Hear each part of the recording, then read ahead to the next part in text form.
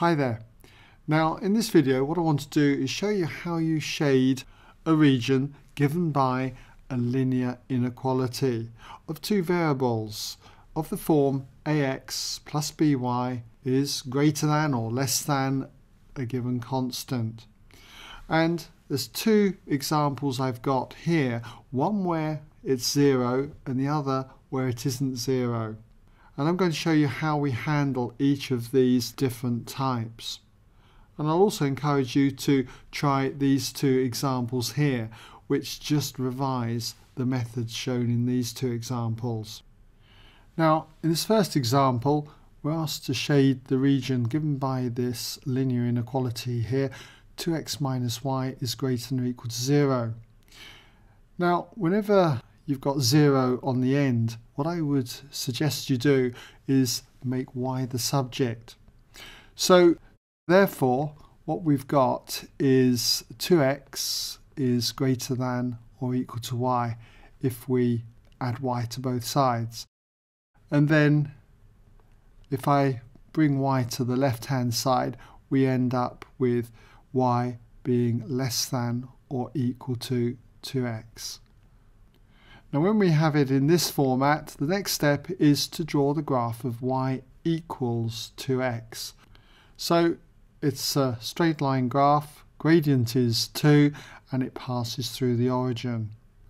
Now in order to find the region that satisfies this inequality or satisfies any of these because they're equivalent to one another, you just take a point, any point on either this side of the line or on this side of the line.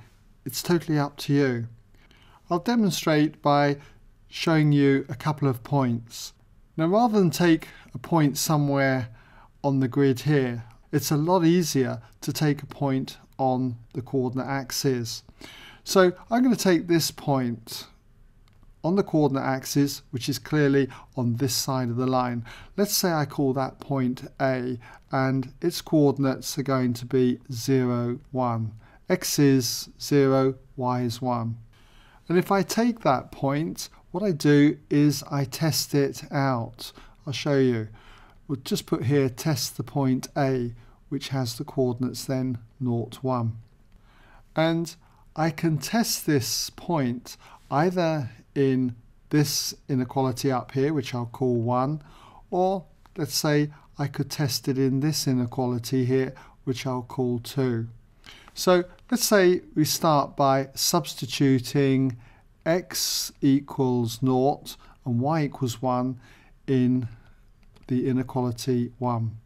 And if that's the case, then if x is 0, this term is 0, and then we get minus 1 and then we have minus 1 is greater than or equal to 0 which is a false statement so I'll just write false there. So what that's telling me then is that any points on this side of the line are going to give false results if we put the x and y values into here.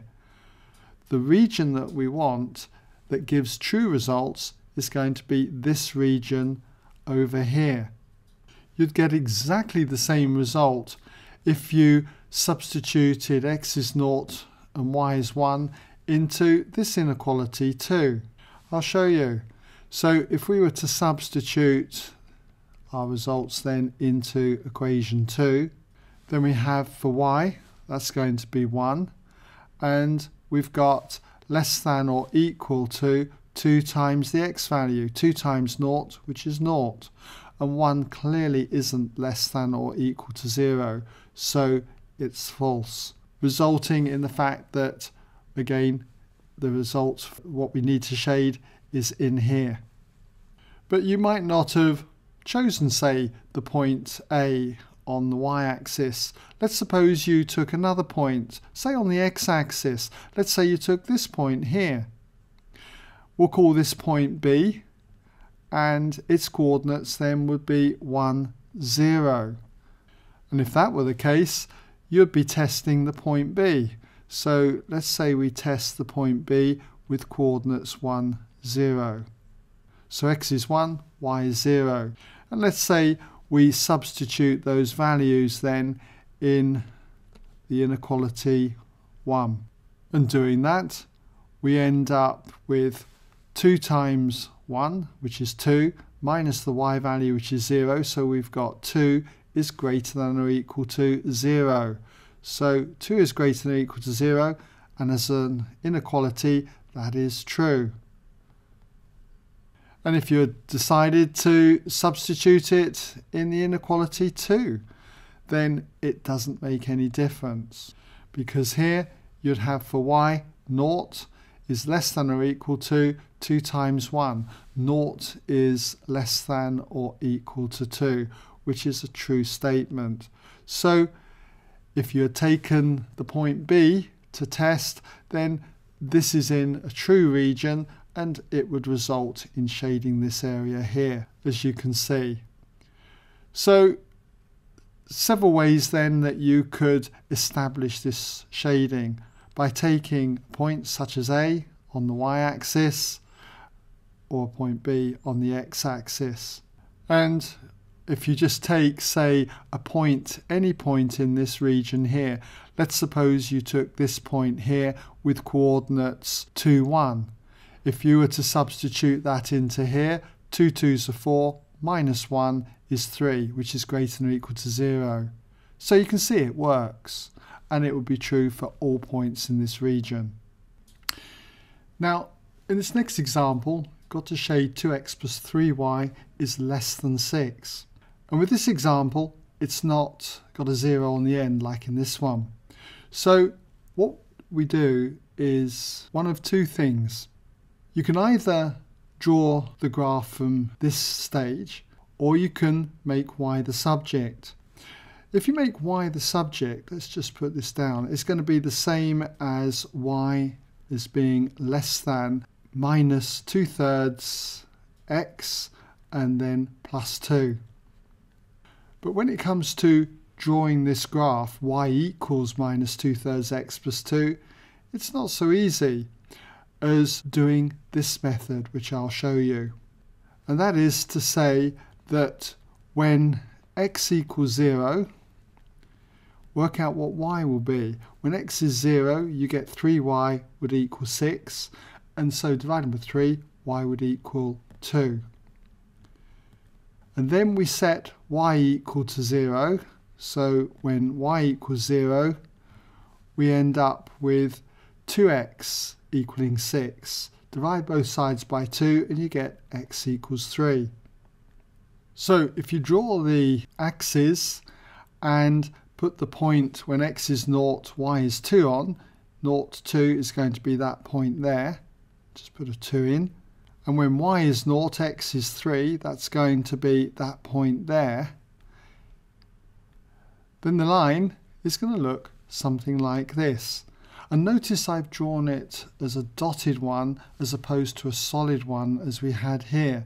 And that's because the inequality that we're using is a less than. The same would be true if it was just greater than. It's always solid though if you've got an equals underneath, okay, whether it's greater than or equal to or less than or equal to, draw a solid line.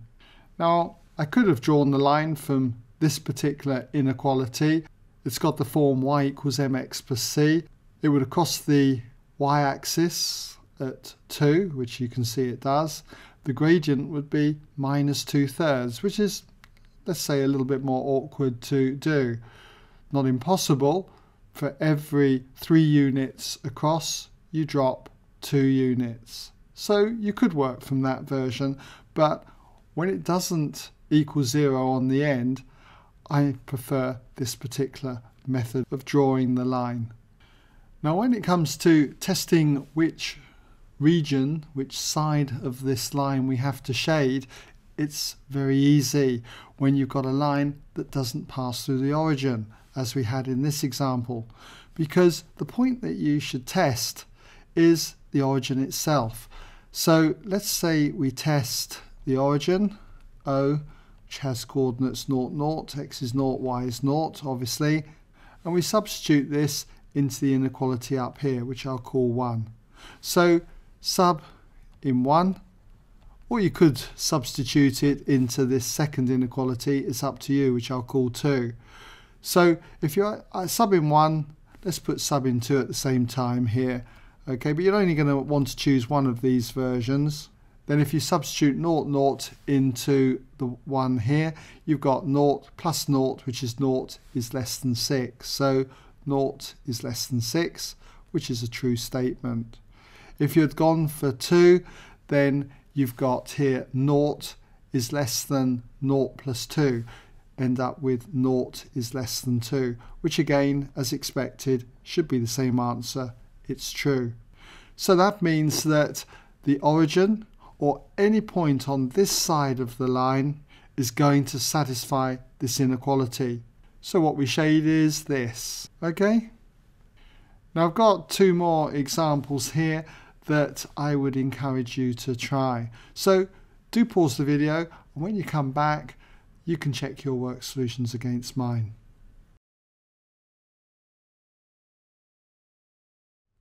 Okay, welcome back then if you had a go. Now with this one, shade 5y minus 2x is greater than or equal to 10. Because it doesn't equal 0, then when it comes to sketching the graph, I'm going to adopt this method here. It's a lot easier. So if we draw the axes on a grid, then for the point where this crosses the x-axis, set y equal to 0. When y equals 0, if we have minus 2x equals 10, then the x would equal minus 5. So we can mark that point on here at minus 5. And then for where it crosses the y-axis, set x equal to 0, so 5y would equal 10, y would equal 2. So if we go up to 2 there and mark that on. So drawing a line through those two points gives us this. 5y minus 2x equals 10 then. Now because it doesn't pass through the origin, then we can test using that point. So test when x is 0 and y is 0. So if I substitute that into there, I end up with getting 0 minus 0 is greater than or equal to 10. So 0 is greater than or equal to 10, which is clearly a false statement. So that means that the region that we want is not on this side of the line, but over here. Now in the next example, we've got to shade y plus x is less than 0. And because this has a 0 on the end, trying to set x is 0 and y is 0 is pointless because we know it goes through the origin. So I'd want to rearrange this to make y the subject. And so y would be less than minus x. So need to draw the graph of y equals minus x and that's going to be a graph looking like this. Notice I've drawn a dotted line here because we've got a less than. Now because it passes through the origin I need to take a point on one of the sides of this line, preferably on an axis. As I said earlier, it makes it easier. It's up to you which point you take, but I'm going to take this point here which I'll call A, and that has coordinates 0, 1. So I'm testing that point. Let's say we're testing the point A with coordinates 0, 1. And so if I substitute that result into here, then I've got for y, which is 1, is less than minus x. That would be 1 is less than 0, which is clearly false. So that means this point A is not in the shaded region. The shaded region then must be here. Okay, well I hope that sets you up now for shading linear inequalities then in two variables.